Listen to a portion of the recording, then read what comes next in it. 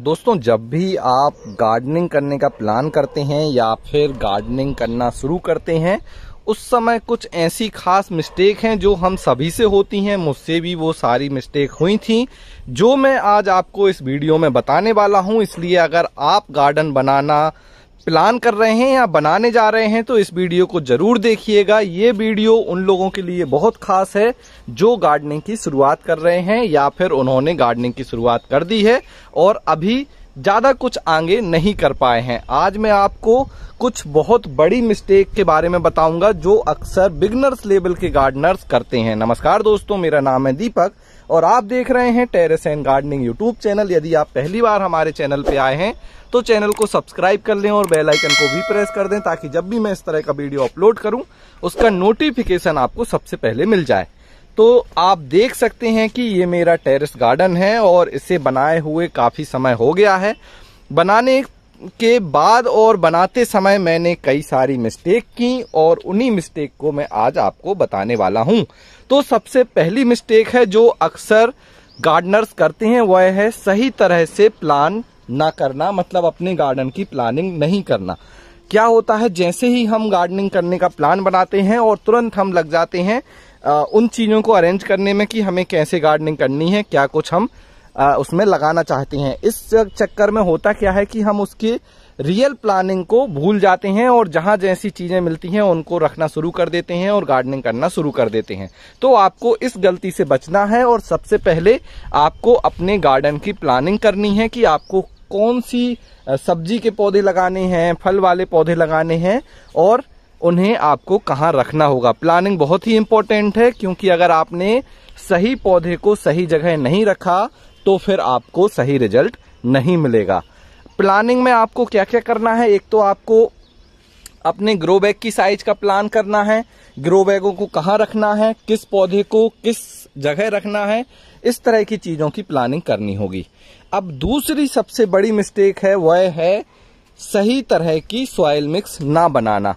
अक्सर होता क्या है, जब हम गार्डनिंग करना शुरू करते हैं तो उस समय हमारे पास जो भी मिट्टी होती है, हम उसमें पौधे लगाना शुरू कर देते हैं। तो यह जो प्रैक्टिस है, वह बिल्कुल ही गलत है।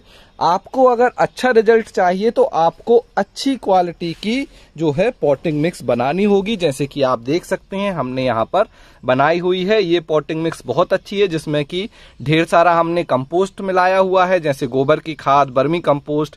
इसके बाद इसमें हमने कोकोपीट भी मिलाई है, मस्टर्ड केक भी है, बोन मील भी है, नीम खली भी है। ये सारी चीज़ों को मिलाकर आप बहुत अच्छी एक पॉटिंग मिक्स बना सकते हैं और उसमें फिर आप जो भी पौधे लगाएँगे, वह काफ़ी अच्छा आपको रिज़ल्ट देंगे। तो ग्रो बैग के लिए या गमले के लिए मिट्टी कैसे बनाएँ, इसका वीडियो जो है मेरे चैनल पे पब्लिश है, आप वहाँ जाकर देख लीजिए। तो दूसरी मिस्टेक आपको अवॉइड करनी है, पहले अच्छी मिट्टी बनानी है, फिर आपको उसमें पौधे लगाने हैं। तीसरे, सबसे बड़ी और सबसे कॉमन मिस्टेक गलत साइज़ के गमले या ग्रो बैग में गलत साइज़ गलत पौधे को लगा देना। कहने का मतलब है कि जो आप ये सामने देख रहे हैं, ये बैगन का पौधा है, इसके लिए जो स्टैंडर्ड ग्रो बैग की साइज़ है वो 12 बाई 12 इंच या इससे बड़ा होना चाहिए। अब होता क्या है कि आपके पास जो भी गमला ग्रो बैग है, आप उसमें इस बैगन के पौधे को लगा देंगे। हो सकता है वो छह बाई छह इंच हो हो सकता है वो बहुत ही बड़ा हो या बहुत छोटा हो तो ऐसा नहीं करना है। पर्टिकुलर पौधे के लिए एक साइज़ का ग्रो बैग स्टैंडर्ड साइज़ का ग्रो बैग होता है, आपको उस साइज़ के ग्रो बैग या गमले में उस पौधे को लगाना है।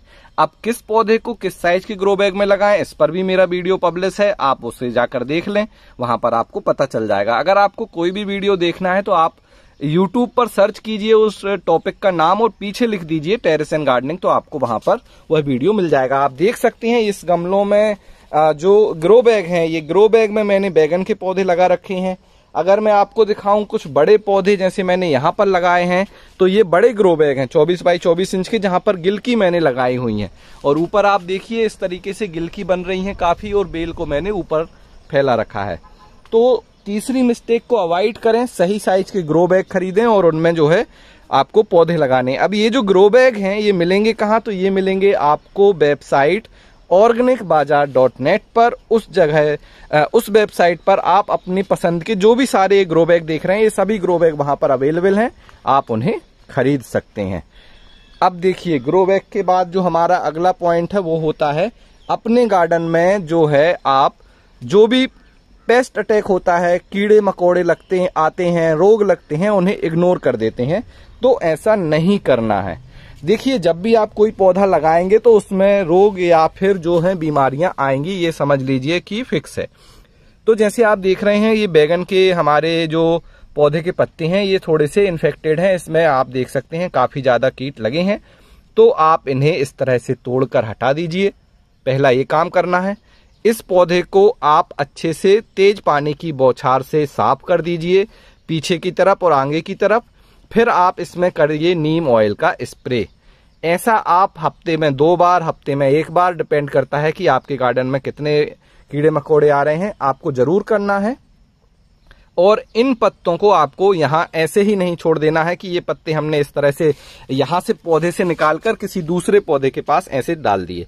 ये नहीं करना है क्योंकि इसमें बहुत सारे जो है पीछे आप देख सकते हैं कितने सारे कीड़े मकोड़े होते हैं तो इन्हें ले जाकर या तो आप मिट्टी में दबा दीजिए या फिर इन्हें जला दीजिए।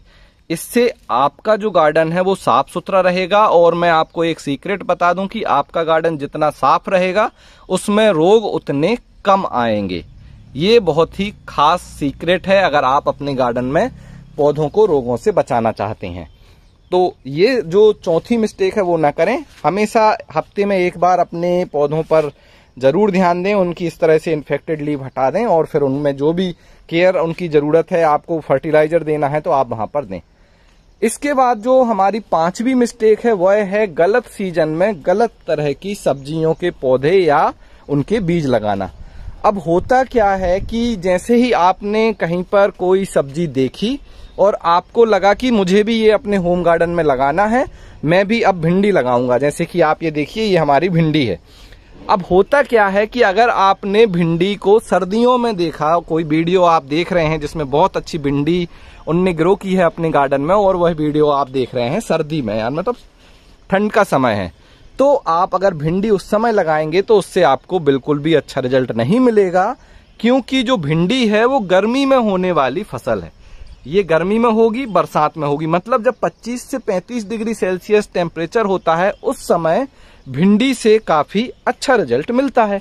तो हमेशा ध्यान रखें कि किसी भी पौधे को लगाने का सही समय बहुत ज़्यादा ज़रूरी है। अगर आप अपने होम गार्डन में सक्सेस पाना चाहते हैं, उनसे ढेर सारी वेजिटेबल लेना चाहते हैं।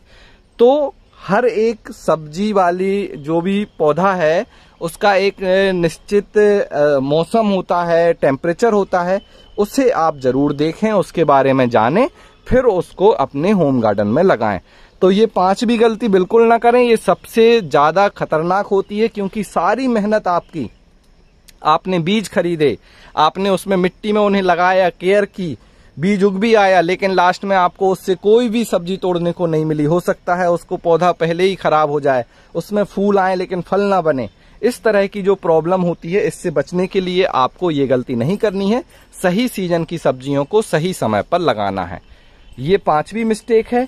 इसके बाद कुछ छोटी छोटी मिस्टेक होती हैं, वो भी मैं बता दूँ, जैसे कि आप बेल वाली सब्जियों को इस तरह से अगर लकड़ी का सहारा नहीं देंगे, मचान नहीं बनाएँगे या फिर इस तरह से क्रीपर नेट नहीं लगाएँगे तो आपकी बेल वाली सब्जियों से आपको सही रिज़ल्ट नहीं मिलेगा, क्योंकि ज़मीन में ये बेल उतने आसानी से नहीं फैल पाती। ये भी एक मिस्टेक है जो आपको नहीं करनी है।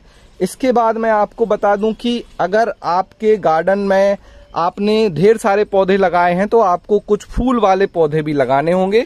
जैसे कि मैं इस तरह से गेंदे के पौधे लगा देता हूँ, ये दो तरह के फ़ायदे देते हैं। एक तो नीचे ये रूट में जो है बीमारियाँ होती हैं, उनसे पौधे को बचाते हैं, और दूसरा इनको इनके जो फूल आते हैं, उससे पॉलिनेटर्स बहुत ज़्यादा अट्रैक्ट होते हैं हमारे गार्डन में, और फिर पॉलिनेशन जो है नेचुरली हो जाता है। तो इस तरह की जो है चीज़ें आप ज़रूर ट्राई करें। देखिए, अभी भी यहाँ पे आप ये मधुमक्खी देख सकते हैं जो कि इस फूल में आई हुई है यहाँ से रस लेने के लिए। और इस तरह की चीज़ें जब आप अपने गार्डन में ट्राई करेंगे, ये गलतियाँ आप इग्नोर करेंगे तो आप भी मेरी तरह बहुत अच्छा अपना टेरेस गार्डन बना लेंगे। इसमें बताई गई जो भी मिस्टेक हैं, इन्हें अवॉइड करें, अच्छे से प्लानिंग करें, अच्छे से सॉयल मिक्स बनाएँ, अच्छे ग्रो बैग खरीदें, पेस्ट कंट्रोल को सही से मैनेज करें और सही से अपने पौधों को सही जगह पर रखें, आपको बेस्ट रिज़ल्ट मिलेगा। वीडियो अच्छा लगा हो तो लाइक करें शेयर करें और मेरे चैनल टेरेस एंड गार्डनिंग को सब्सक्राइब कर लें और इसी तरह से मेरे दूसरे वीडियो भी देखते रहें। आज के वीडियो में इतना ही। मिलते हैं आपसे किसी अगले वीडियो में। तब तक के लिए हैप्पी गार्डनिंग